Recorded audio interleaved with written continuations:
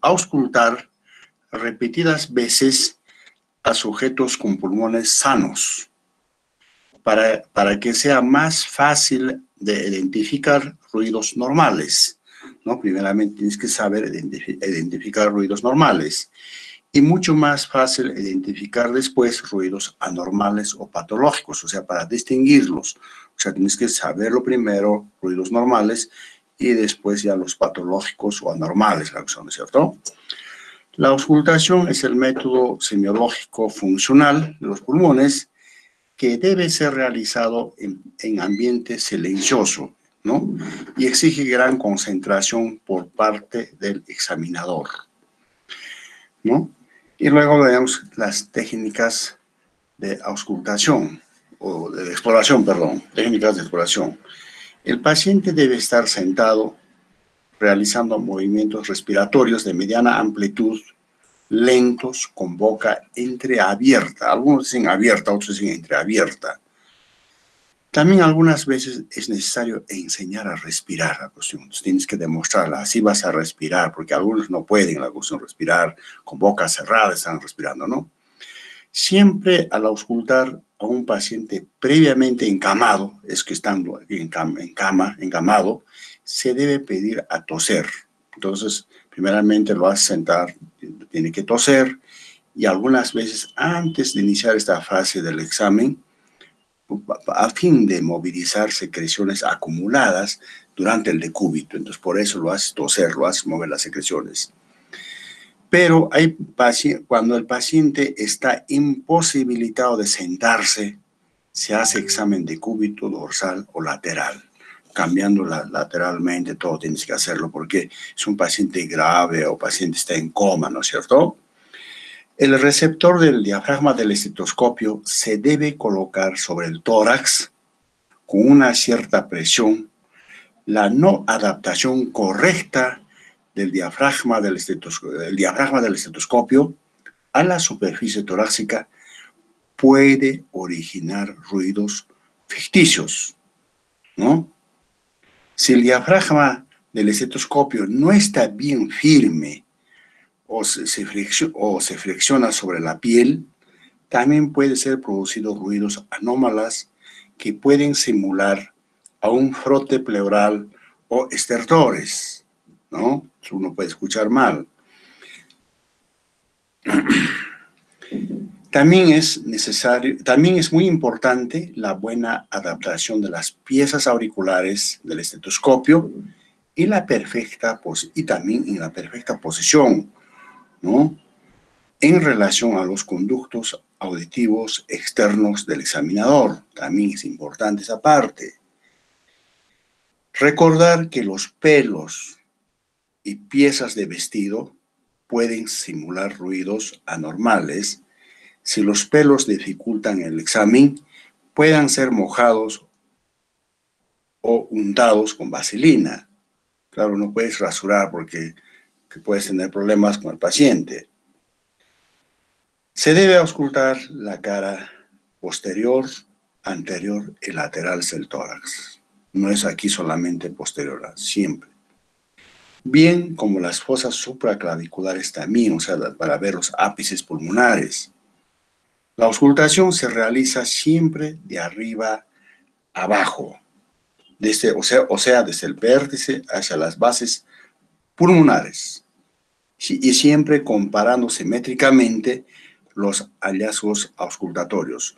O sea, puedes auscultar un emitórax derecho, luego a la izquierda, después comparativamente tienes que realizar la cuestión, ¿no es cierto? Las crepitaciones del examen, del, perdón, las crepitaciones del enfisema subcutáneo son perfectamente percibidos cuando se mueve o sea, se, aumenta la presión del diafragma del estetoscopio. Ojo, la cuestión también, si es que no, un, para un principiante puede haber un error de escuchar otros ruidos. Algunas veces, ojo, algunas veces es necesario solicitar a toser al paciente.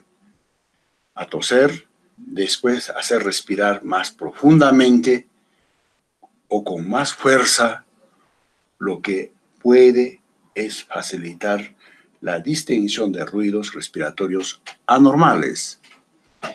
Estas maniobras de inspiración profunda o hacer toser no deben ser realizados en pacientes con dolores torácicos intensos, no. Y también pacientes que están con una disnea acentuada o pues están pacientes que están con una hemoptisis, no. Pues puede agravar los síntomas. Por ejemplo, si el paciente está con hemoptisis, lo hace respirar, puede ah, incrementar más hemoptisis, más puede agravar. ¿Listo? Y luego, después de esto, hablaríamos es uno, ¿no? Números humanos, además los ruidos respiratorios normales. Primeramente tenemos que saber normal, en qué consiste, después pasaremos a normales. En ruidos respiratorios normales hablamos primeramente del murmullo vesicular. En cualquier paciente, en cualquier, entonces siempre la cuestión que me hagan examinar cómo está, bueno, murmullo vesicular. Pues, si es normal, ¿no es cierto? Ahora, si es patológico, entonces este murmullo vesicular puede desaparecer, puede digamos, la, patológico puede sobresalir ahí, ¿no? Entonces, murmullo vesicular, normalmente se ausculta ruido respiratorio normal o murmullo vesicular es un ruido fisiológico originado por la vibración del aire en el aparato respiratorio y puesto alternadamente en movimiento por la inspiración y la expiración. El murmullo vesicular, ojo, se define de esta manera el murmullo vesicular. El murmullo vesicular resulta del pasaje, del pasaje de aire de los bronquios finos a los sacos alveolares, ¿ya? a los sacos alveolares, o viceversa, su onomatopea es semejante que se produce aspirando suavemente los, con los labios dispuestos como para pronunciar la letra F. ¿Listo? Algunos decían B, pero no es la letra F es. El murmullo vesicular es un ruido suave y característico. Se escucha durante la inspiración y en inicio de la expiración en todo el tórax. El murmullo vesicular tiene su máxima intensidad en las bases pulmonares, ojo, ahí vas a escuchar con más nitidez en las bases pulmonares, en la cara antero superior del tórax, en regiones interescapulares, parte del tórax posterior, ¿no? Pero zonas que están normalmente disminuidas o ausentes de murmullo vesicular son región precordial, o sea, el corazón, zona hepática o son proyección del hígado, espacio semilunar de Traube, donde está el estómago, Regiones con acúmulo de grasa, o sea, mamas en el sexo femenino, sobre todo los huesos y masas musculares hipertrofiadas, ¿no? Hablaremos en qué casos está alterado este murmullo vesicular, alteraciones del murmullo vesicular.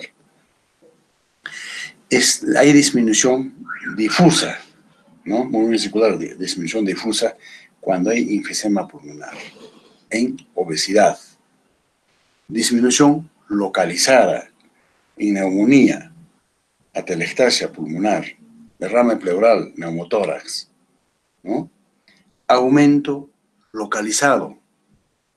Aumento localizado generalmente es encontrado en áreas de hiperventilación que tenga que suplir la ventilación, disminución de otras zonas.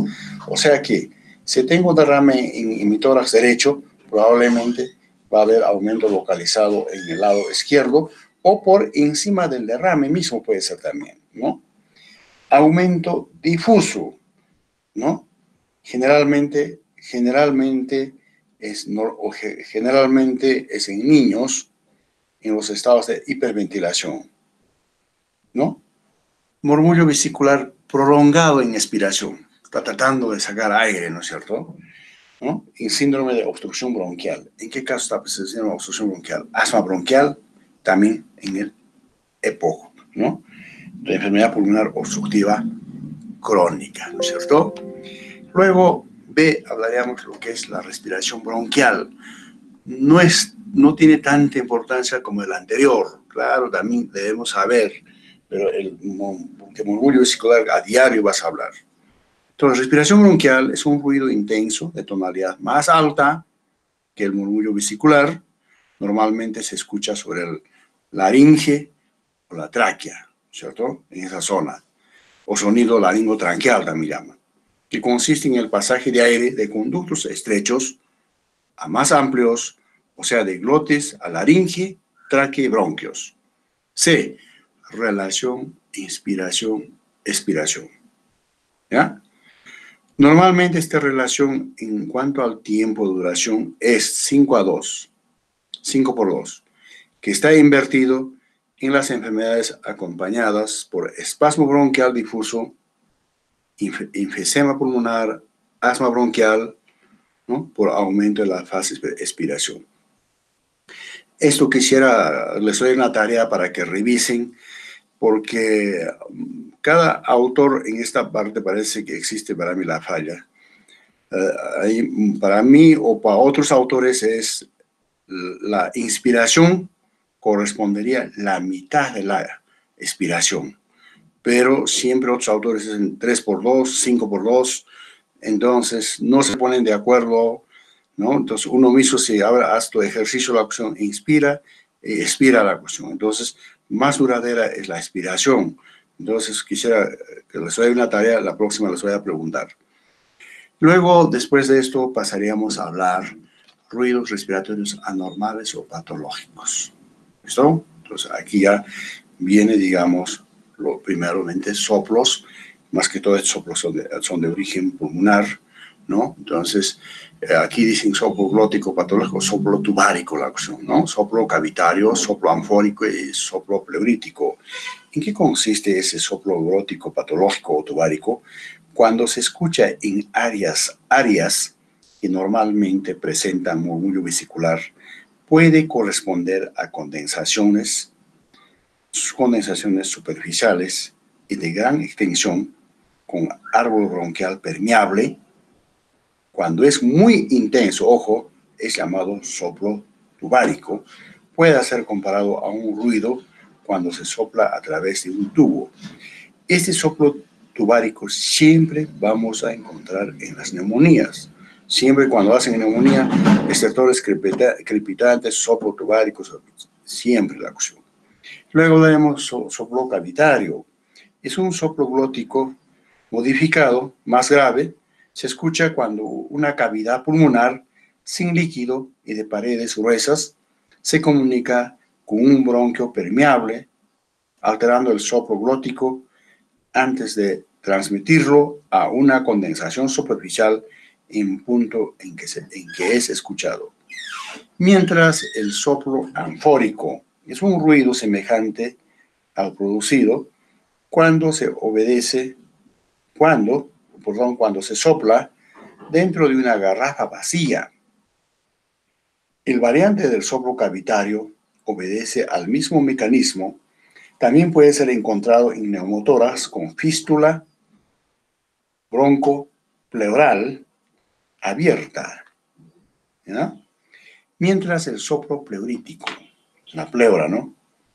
En la auscultación, el soplo glótico, de, soplo glótico a través de una capa de líquido se parece a la pronunciación de la letra E, se encuentra en la parte alta del derrame pleural, se ausculta mejor debajo de la axila, se escucha durante la inspiración. Entonces, esto es en cuanto a los soplos.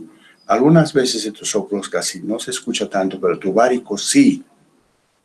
Quizás también el anfórico que va a escuchar, pero los otros casi muy poco se escucha. La cuestión tiene que estar totalmente concentrado, permanecer mucho tiempo escuchándolo al paciente, donde también tiene que haber un silencio totalmente, un silencio único, la cuestión diremos, ¿no? Entonces hablaremos ahora, perdón, estertores. La clasificación de los, eh, de los estertores.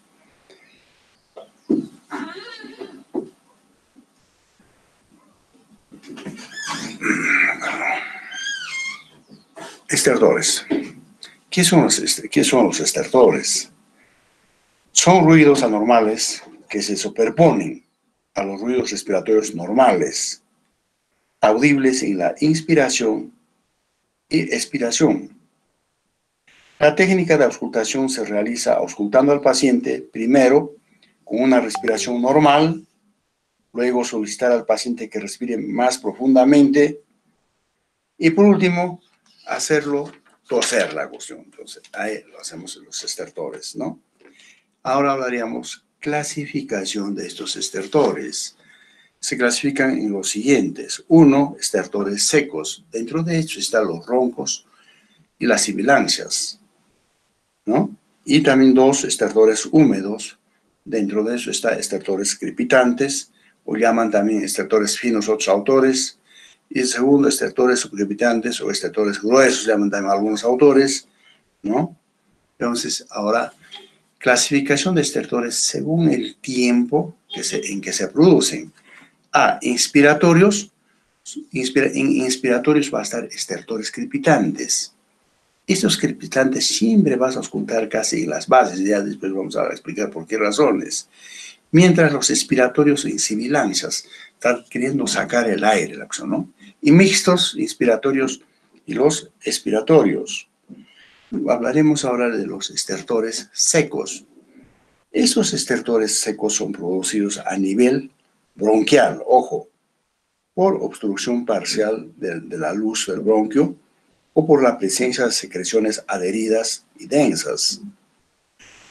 ¿No? Los roncos, los roncos. ¿Cómo, por qué, dónde se produce, cómo se definen estos roncos?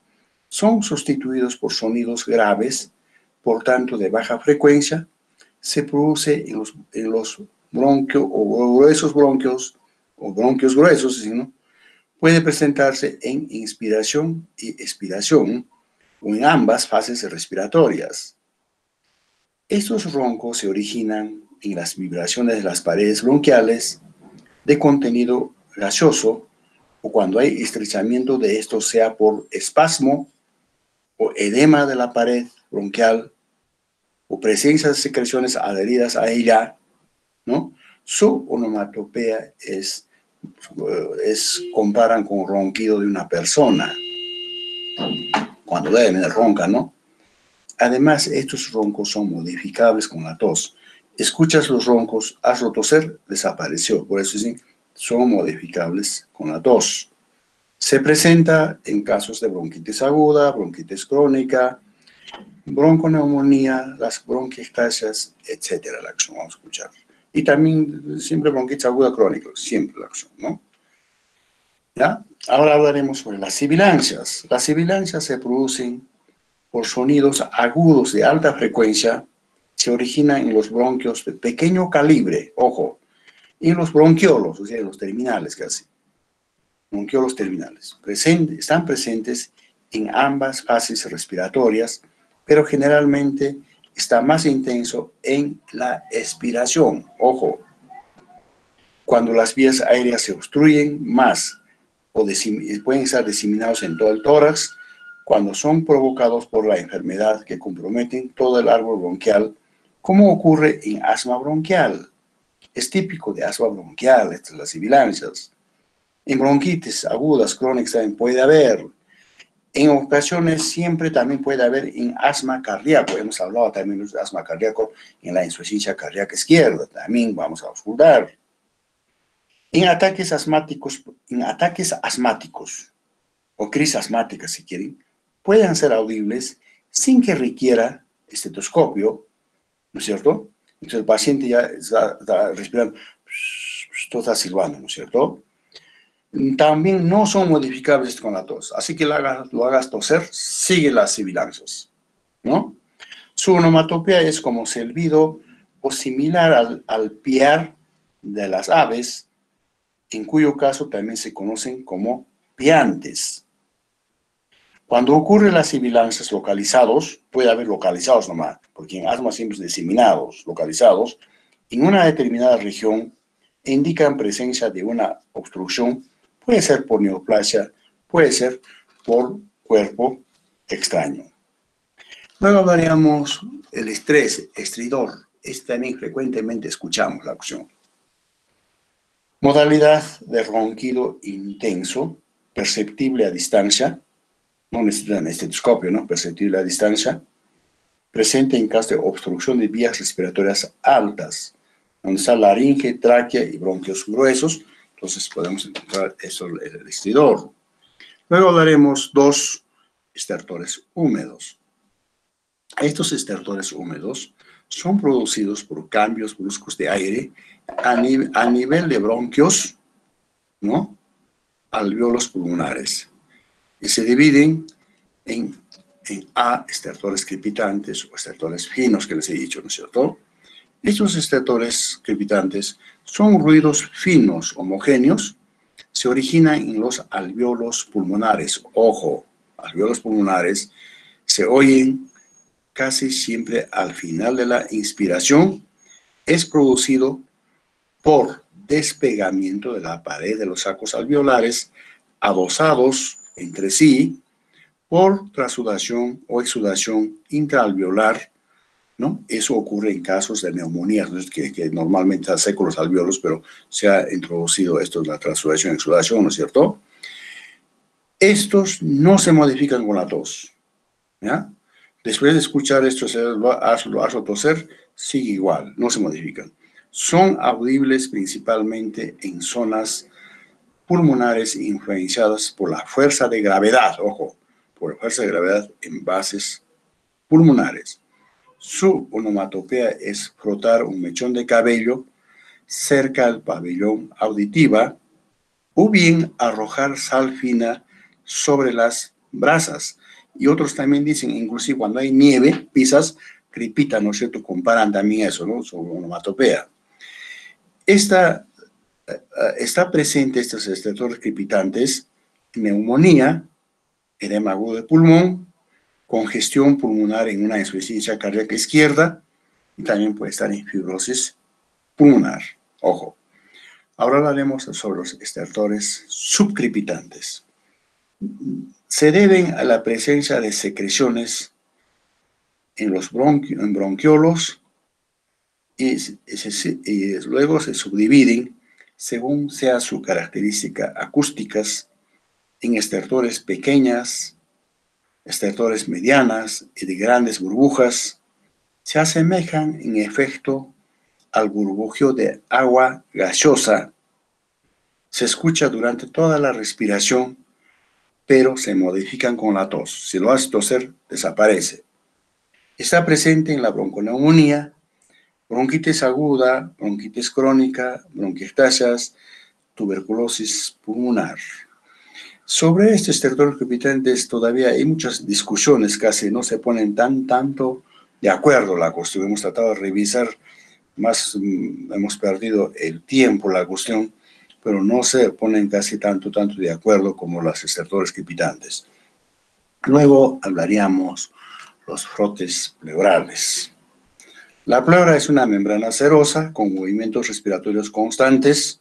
Normalmente se deslizan entre la pleura parietal y visceral en forma silenciosa, ¿no es cierto? Cuando es normal. Pero cuando existe un proceso inflamatorio exudado, fibrinoso, como en caso de pleuritis, se produce frotamiento de las dos hojas pleurales, que estos se despulen. Su onomatopea parece al ruido de frotar cuero nuevo o frotar una madera seca. Su sede más común de frote pleural está en las regiones axilares inferiores, donde los pulmones realizan movimientos más amplios. Se ausculta en los dos, en los dos tiempos respiratorios, no son modificables con la tos y se exacerba el, más que todo el dolor cuando uno comprime con el estetoscopio en esa región, ¿no? En la, en la, o la región de la auscultación. Entonces, es en cuanto a los brotes pleurales. Para terminar, hablaríamos, ¿no? Para terminar, después de todo, auscultamos la voz, ¿no?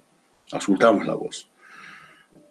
O sea, muy parecido a las vibraciones vocales. Vibraciones vocales solamente la mano, la palma de la mano, la cuestión lo hacemos repetir 33, 33. Pero aquí hacemos repetir, repetir también 33, pero con estetoscopio auscultamos. Para completar el examen físico de los pulmones, se ausculta la voz hablada o la voz cuchicheada Para esto el paciente tiene que pronunciar la palabra 33, 33, donde el examinador con el receptor del diafragma del estetoscopio ausculta la pared torácica, comparando las regiones homólogas tal como, tal como es en el examen de vibraciones vocales, utilizando la palma de la mano, algo parecido, ¿no? Los sonidos producidos por la voz, por la voz y escuchados en la pared torácica constituyen llamado resonancia vocal, ¿ya? Resonancia vocal. En condiciones normales, tanto la voz hablada como cuchicheada, la resonancia vocal constituye uno de los sonidos incomprensibles. O sea, no lo escuchas así esa palabra 33 como un ruido, una mezcla de palabras la cuestión, ¿cierto? Entonces es la resonancia vocal.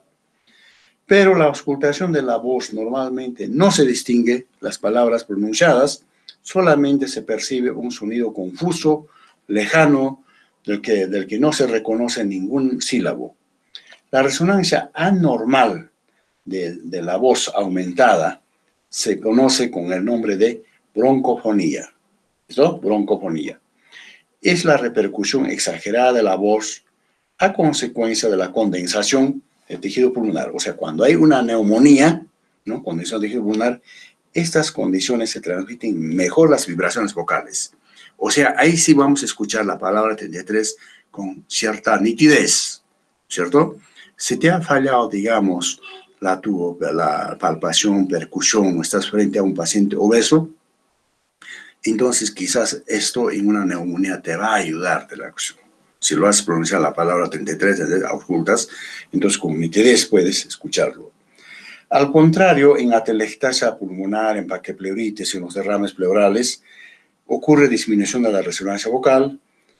Observar que el aumento y la disminución de la resonancia vocal coinciden con las mismas modificaciones de la vibración vocal. También la palabra pectoriloquia. La pectoriloquia es la auscultación de la voz articulada con claridad, tono alto, vibración metálica, particular. Su, su existencia es un signo de caverna. Puede ser, primero, sonora, cuando habla en voz alta, en caso de cavernas grandes y superficiales. Segundo, áfona, cuando se habla en secreto en caso de condensación pulmonar o en derrames, ¿no? Y también se habla también de la egofonía, es la voz de cabra, voz telefónica, se presenta en caso de, de compresión del pulmón por un derrame líquido de mediano volumen, ¿no? Esta es la auscultación de voz temblorosa, entrecortada, chillona, molesta, como si hablara dentro de los dientes, ¿no? Entonces, eh, eh, hasta aquí vamos a avanzar. Entonces hablamos de la, de la auscultación de la voz. Entonces, aquí terminamos, digamos, el examen del aparato respiratorio, ¿no? Con la, eh, hemos venido con la inspección, palpación, percusión y la auscultación, ¿no? En las próximas clases ya podemos pasar, digamos, ¿Qué exámenes complementarios, pues, para, para, las patologías respiratorias debemos solicitar? ¿Cuáles son los más importantes? ¿En qué esto la cuestión? ¿En qué patología, digamos? Pero sí, radiografía del pulmón casi entra en todo, ¿no? Ahora, ¿en qué caso voy a poder pedir el esputo para BK? ¿O cuando voy a hacer, digamos, examen del esputo? ¿O cuando voy a pedir, digamos, la tomografía? la ecografía, entonces es necesario conocer. ¿Alguna pregunta hasta aquí?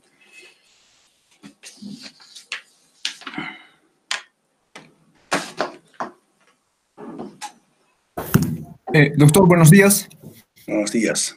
Eh, una, pregunta, doctor. En sí, doctor, en lo que es la auscultación de la voz, eh, en la ronquera, ¿puede existir otras causas de ronquera aparte de lo que es alteraciones del sistema respiratorio?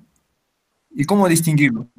Mira, casi aquí no se habla de la ronquera. Digamos, ya, les he dicho, eh, digamos a ti ahorita que no tienes ni ronquera nada, te auscultamos la cuestión, te hacemos pronunciar la palabra 33, entonces prácticamente al auscultar, no voy a auscultar esa palabra 33 con nitidez, sino que vamos a escuchar, digamos, uh, una, una voz, uh, una voz, sonidos incomprensibles prácticamente, ¿ya? No es esa nitidez, pero si tú estarías con una neumonía, ahí te hago la, la, misma, la misma técnica, la cuestión te hago pronunciar la palabra 33 y te ausculto, ahí sí te voy a escuchar de la palabra 33 algo más nítida, quiere decir la, el proceso inflamatorio conduce bien, entonces eso es lo, que quiero aclararte. Pero casi la ronquera nada que ver casi. Que ahora lo que hemos dicho, quizás digamos, si el paciente tiene, digamos, pleuritis o derrames pleurales, entonces tampoco casi no vamos a escucharlo bien. ¿no es cierto? Pero ahora lo que, lo que les he dicho es la, la pectoreloquia también ayuda, ¿no? Escuchar ese, la nitidez ese 33, la cuestión, pero también siempre en caso de las neumonías. ¿Listo? Gracias, doctor.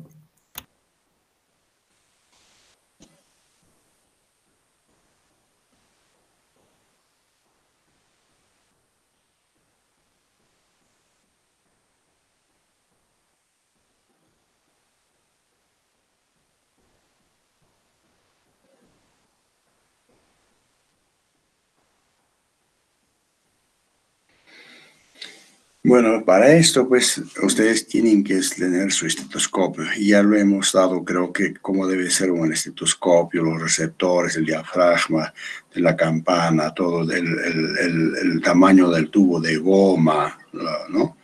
Todo eso. Inclusive, uno mismo puede auscultarse, ¿no? Te, sacas, digamos, te descubres la parte del tórax, y todo te auscultas, respiras, la cuestión toses, hay cambios o no, más que todo cuando estás con tos, todo también puedes hacer, pero siempre es mejor iniciar a reconocer la parte normal, cómo es el murmullo vesicular, realmente cómo es su onomatopea, cómo escuchas, ¿no es cierto? Y después entrar a la cuestión a lo patológico, cómo lo son los estertores, cómo son los roncos, cómo son las sibilancias, cómo son los soplos. Ese es lo principal. Esto algunas veces nosotros hemos mostrado, digamos, teníamos nuestros cassettes, videocassette, hacíamos escuchar, pero no es cosa de otro mundo, pues es fácil la cuestión. Como dices, si agarras un, digamos, mechón de cabello, frotas, entonces comparas con estertores crepitantes. Ya te he dicho, las sibilancias, inclusive si son sibilancias, escuchas sin estetoscopio pacientes que están, un paciente mismo te dice, no sé, estás, estás silbando en el pecho o está ahí molido del gato, te dice, ¿no es cierto? Y algunos ya vienen con crisis, está silbando, ya entra la cosa, ya sabes, pero claro, por supuesto, si auscultas, complementas mejor. Entonces, es el esto. ¿No hay más preguntas? Ah, doctor, buen día. A ver, buenos días. A una consulta, doctor. En nuestro medio, como las personas eh, comúnmente son algunos quechohablantes u otros de eh, el idioma aymara, así, eh, ¿qué tipo de palabra podrían pronunciar en vez del 33, no? Mira, lamentablemente tienes que demostrarlo, ¿ya? Yo sé que, bueno, es un poco difícil, digamos, con un paciente, digamos, ya aymara la cuestión no lo entiendes, la cuestión, ahora, ¿qué le vas a decir? Pues respira la cuestión, ¿no? Respira o la cuestión, no sé. Ahora yo mismo me confundo o alguien me corrige. Nosotros escucho también a otros, dicen palabras samai, samai. Uno me decía, no, ese es quechua la cuestión, lo que él, tu paciente es aymara la cuestión. Bueno, entonces mejor es, por eso tienes que enseñar la cuestión. Entonces, usted va a hacer así igualito la cuestión. Abre la boca, así respira la cuestión, todo la cuestión tose la cuestión, hasta, hasta toser tienes que eh, enseñarle pues, la cuestión. Todo, al respirar, una respiración profunda, vas a respirar así, más profundo, tienes que enseñar, pero algunos no te entienden, pero lamentablemente tienes que hacerlo y para esa razón pues, las universidades piden de que, digamos, en estas nuestras zonas, el alumno debe saber su quechua, su aymara, ¿no? Fuera de inglés. Entonces, por lo menos, algunas palabras técnicas para la historia clínica, para comunicarse. Pero a, veces eh, es un poco difícil, pero tienes que demostrarle, claro, vas a perder tu, tiempo, pero ¿qué puedes hacer? No, no entiende. La vas a perder tu tiempo, claro, uno, uno tiene medido la cuestión su tiempo, pero ¿qué puedes hacer? Lamentablemente es así. Tienes que enseñarle. Ok, doctor, gracias. Sí.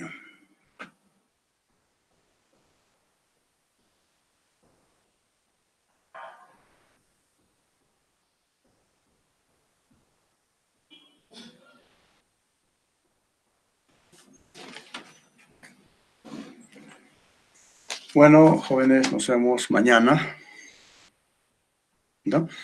Ya, eh, y bueno, e, estas cosas, como les digo, no vas a encontrar así en todos los libros, o bueno, un pedacito, alguna cosa. Claro, eso también para mí está un poco para ordenarlo la cuestión, claro. Hemos tratado de leerlo de todos los libros, bueno, está todavía para ordenar, está un poco en. Bueno, jóvenes, mañana nos vemos. Hasta mañana.